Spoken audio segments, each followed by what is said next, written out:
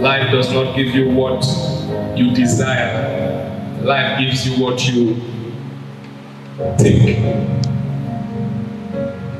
You cannot afford to live your life casually. Life is supernatural. Can we say life is supernatural?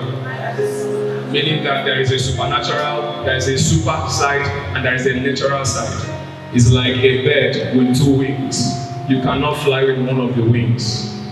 And that's why the supernatural, the other side, the super side, is important. And in the place of prayer, you are able to get into the place where you begin to swim in the frequency of the Father. Is somebody here with me tonight? How many of you are ready to pray? You're ready to pray.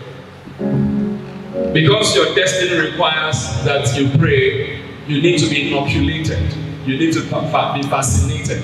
You need to be injected with the spirit of prayer. Prayer should no longer